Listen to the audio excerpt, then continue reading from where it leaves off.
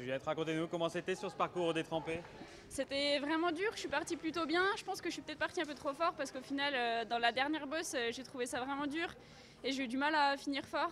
Mais euh, j'ai quand même eu des bonnes jambes et je regardais pas mal ma puissance et c'était vraiment bien. Donc pour moi, c'est un bon chrono. Je suis un peu déçue du temps parce que quand je suis arrivée, j'avais quand même déjà au moins 1 minute 15 de retard sur la première. Donc ça va peut-être être chaud pour le top 10, je pense. Mais euh, j'ai vraiment tout donné, pas de regrets. Niveau technique, euh, j'avais un peu peur dans les descentes et au final, je pense que ça a été à peu près. Donc euh, je suis assez contente. Un parcours il faut pas avoir peur de prendre des risques, c'est ça? Ouais, c'est ça, faut pas avoir peur de prendre des risques, que ça soit technique ou même voilà, de pas partir trop fort. Faut, faut, faut prendre des risques là-dessus aussi. Si on est dans un vraiment un bon jour, ça passe, donc faut oser quoi.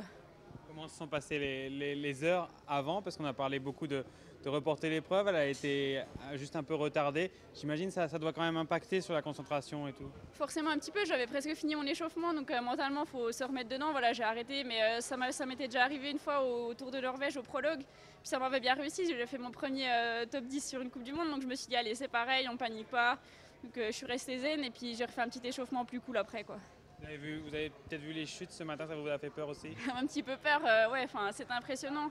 Après au final on a eu de la chance nous parce qu'il y avait moins d'eau sur la route et c'était signalé par euh, des signaleurs, donc euh, nous c'était pas dangereux quoi. Oui, oui, il y a un beau boulot d'adaptation qui a été fait de la part du comité. vous Ouais, je pense que c'était une bonne décision de- d'essayer de, faire un peu plus safe, euh, voilà, enfin euh, que ça soit plus sécurisé et puis que voilà on ne prenne pas de risques quoi. Merci beaucoup, Julie.